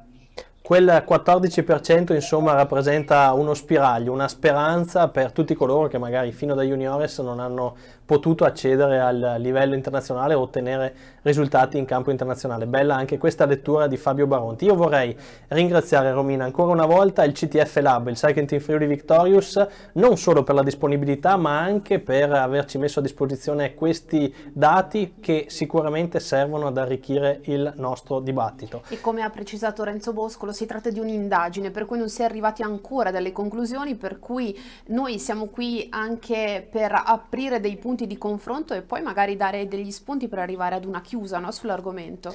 Assolutamente sì e soprattutto i risultati probabilmente li vedremo nelle prossime stagioni come diceva Renzo Boscolo. Grazie ancora a Renzo Boscolo, grazie a Fabio Baronti, in bocca al lupo per il finale di Giro Next Gen a questo punto. Crepi il grazie. lupo, grazie mille, buonasera a tutti, grazie. Ringraziamo i nostri ospiti e rimaniamo sempre nella panoramica degli Elite Under 23 perché è ora il momento di vedere la sintesi di una delle gare che eh, hanno avuto luogo nel fine settimana, sto parlando di Roncoleva, quindi andiamo insieme a vedere la sintesi. È un sabato di festa a Roncolevà di Trevenzuolo in provincia di Verona per la 66esima edizione del Gran Premio GSC Roncolevà, valido anche per il 47 trofeo Feltre Traslochi e per la 56esima medaglia d'oro Valentino Andreani e Nereo Gazzani. Ben 163 gli atleti radunati ai nastri di partenza dalla società scaligera presieduta da Simone Casarotti. A dare il via rappresentanti dell'amministrazione comunali con il primo cittadino Eros Torsi in prima linea per abbassare la bandiera a scacchi e far scattare una sfida tra le più attese del calendario veronese. Infatti Roncoleva rappresenta una grande classica del ciclismo scaligero, una corsa che affonda le proprie radici addirittura nel 1958 quando ad aggiudicarsela fu Bruno Brasolini, una corsa ambita che lo scorso anno aveva premiato Giovanni Cuccarolo della Zalfero Mobile Desiree Fior. Si corre sulla distanza dei 130 km con un primo anello da ripetere due volte per un totale di 80 km e poi altre 10 tornate da 9 km ciascuna per andare a completare il programma di giornata. La prima parte di corsa è stata caratterizzata da una caduta di gruppo che ha consentito ai coraggiosi di giornata di prendere il largo. Si forma così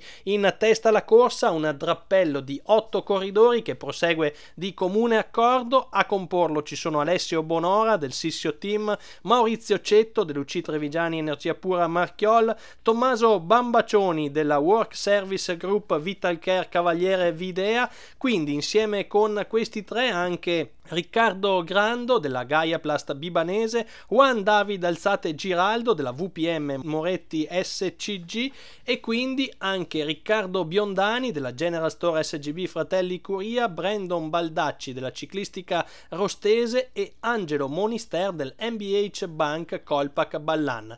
Questi otto corridori rimangono in avanscoperta per quasi tutta la manifestazione, proseguendo di comune accordo sino a quando sulle loro tracce inizia a riportare portarsi il plotone inseguitore. A guidare l'inseguimento sono soprattutto le maglie della Solme Olmo, la formazione del presidente Giampietro Forcolin con Simone Buda, il velocista deputato poi ad andare a finalizzare tutto il lavoro dei compagni di squadra. Intanto con le nostre immagini vediamo il pit stop di Omar dal cappello della General Store SGB Fratelli Curia, rimasto appiedato a causa di una foratura, pronto l'intervento dell'ammiraglia per l'atleta atleta veronese che si riporterà di lì a poco nel gruppo dei migliori. Ancora la Solme Olmo a guidare le operazioni anche una volta che il gruppo è tornato compatto, una situazione questa che condurrà sino al suono della campana. Gruppo ancora piuttosto folto, quello che aveva visto ben 163 atleti prendere regolarmente il via da Roncolevacci si avvicina ormai al gran finale con un, un gruppo che scivola via velocissimo sull'anello conclusivo di Roncolevà. La media finale sarà superiore ai 47 km orari, merito sicuramente di coloro che hanno provato ad andare in fuga, ma anche e soprattutto di chi ha guidato il gruppo per tanti chilometri. Ma la situazione non è ancora ben definita quando siamo al suono della campana, vedete molto frastagliate le prime avvisaglie del gruppo, quattro atleti a comandare l'azione, altri quattro ad inseguirli e poi il gruppo. Tutti tutto racchiuso in meno di 30 secondi. Un finale davvero pirotecnico, quello che attende il Gran Premio Roncoleva numero 66, una gara che anche quest'anno non ha deluso le attese, anzi ha regalato grande spettacolo e grandi emozioni. Il plotone va a ricompattarsi proprio negli ultimi chilometri e quindi una volata a ranghi compatti, quella che va a decidere l'edizione 2024 del Gran Premio Roncoleva con Michael Cattani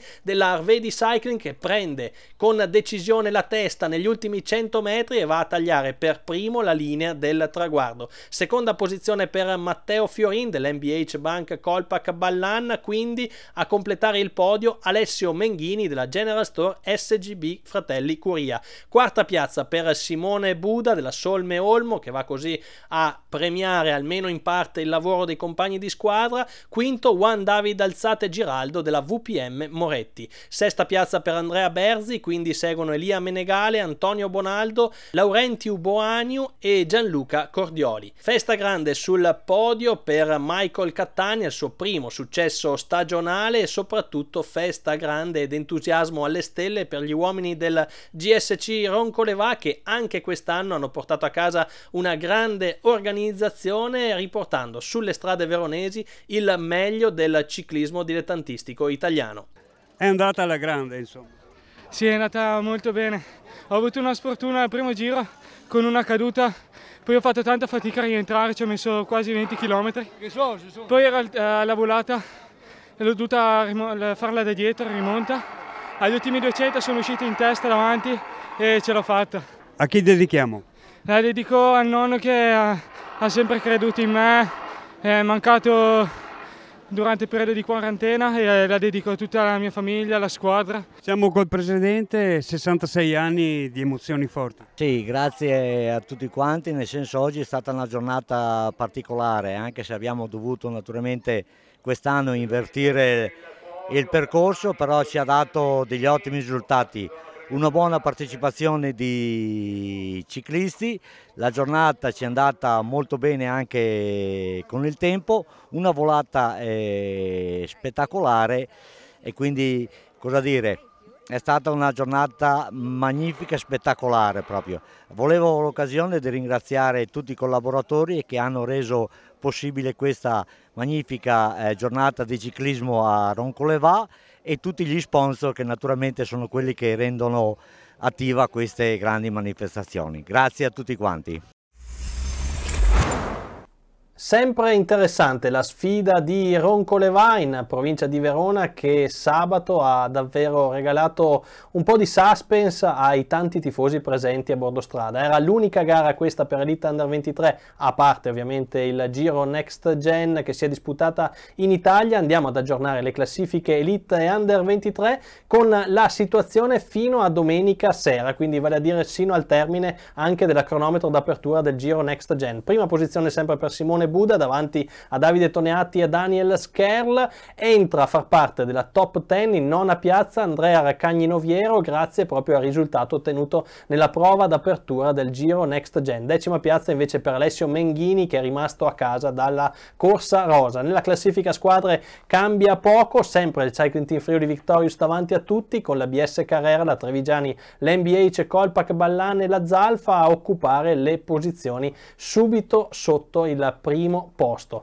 Queste le classifiche per gli Elite Under 23 che sicuramente andranno a movimentarsi poi con i risultati di queste giornate, ma noi siamo già pronti per andare a vedere cosa ci attende nel prossimo fine settimana. Allora con l'aiuto della grafica vediamo i prossimi appuntamenti, si parte sabato con la cronosquadra del Solighese riservata agli juniores e alle donne juniores in programma a Farra di Soligo in provincia di Treviso e di questa cronometro squadra ovviamente ve ne racconteremo un'ampia sintesi Parisi nella prossima puntata di Extra Ciclismo. Gara internazionale per quanto riguarda gli juniores, gara invece regionale per quanto riguarda le donne juniores. Il giorno successivo, sempre per questa categoria, Pieve di Soligo si replica con la classica internazionale, la 36esima edizione del trofeo GD Torigo.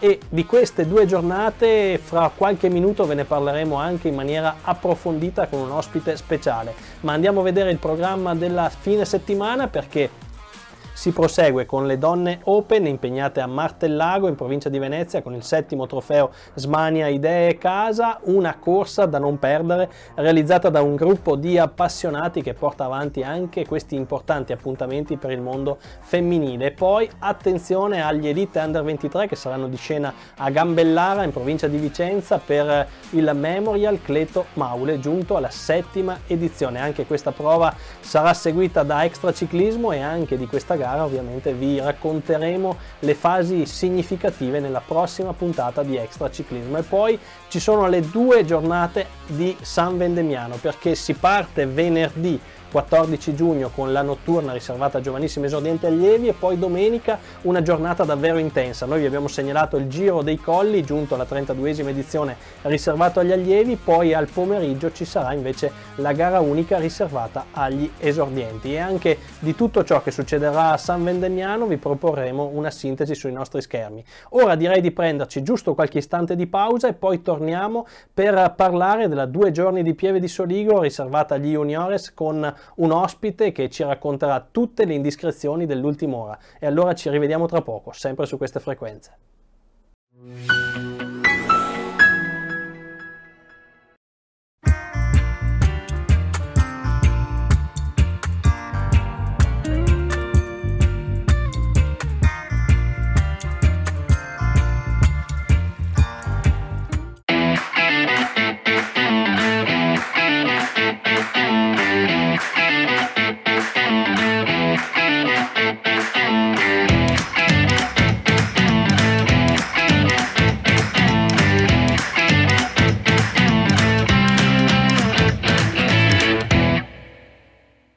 Industrial Forniture Moro, con più di 8.000 metri quadrati di magazzini, commercializza oltre 240.000 articoli tecnici, propone servizi di assemblaggio riduttori, taglio su misura per aste, guide, catene, cinghie, lastre termoplastiche e vendita cuscinetti. Il reparto saldatura offre consulenza, vendita e assistenza a tutta la clientela. Vi aspettiamo presso le nostre tre sedi di Ponzano Veneto, Conegliano e Treviso. Siamo aperti tutti i giorni.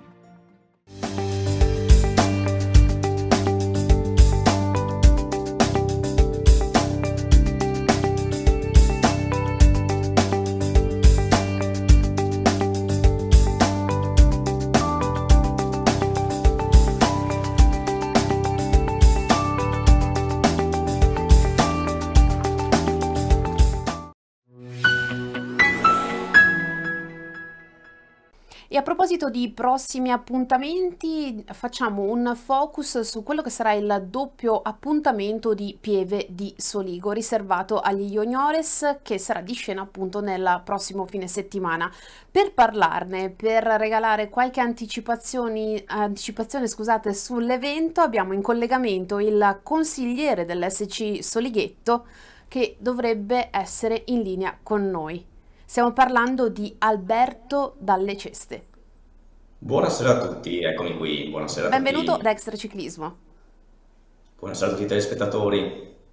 Alberto, che aria si respira a Pieve di Soligo? È tutto pronto per eh, questo weekend di grandi gare riservate agli juniores? Sì, è tutto pronto, si respira un'aria di festa come sempre, eh, siamo reduci tra l'altro dalla grande festa post Giro d'Italia del Criterium e quindi continuiamo in questa scia di grandi eventi ciclistici con l'internazionale eh, Juniores che appunto si correrà a Pieve di Soligo domenica prossima, domenica 16 giugno, anticipata però dalla cronometro squadre del Solighese di sabato, quindi sabato 15 giugno. Sarà un weekend ovviamente da non perdere, un weekend di grande ciclismo dove avremo sostanzialmente i migliori Juniores del panorama europeo e via. Tracciati sostanzialmente confermati rispetto al recente passato, no? Sì, tracciati confermati, è confermato il tracciato sia della cronometro squadre che della prova in linea di domenica. Una categoria, quella degli juniores, che assume sempre maggiore importanza. Ne abbiamo parlato anche questa sera durante la nostra puntata di Extra Ciclismo. Voi so che avete una partecipazione d'eccellenza. Si sanno già, sa già qualche numero, possiamo già dare qualche nome?